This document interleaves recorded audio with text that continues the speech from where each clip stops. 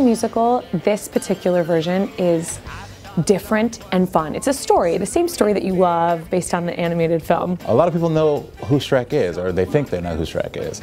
But what I really love about what our director is doing here is she's not basing it on anything prior. We're not doing the movie, we're not doing the, the Broadway musical that already existed. We're doing our own thing completely new.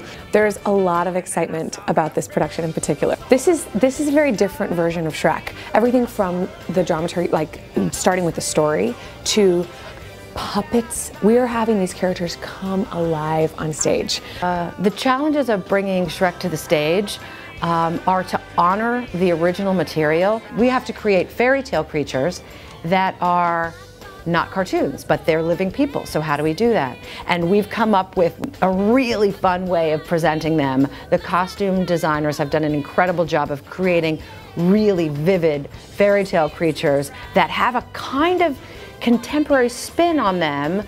I think it's no easy task, but it's exciting the way that we're doing it.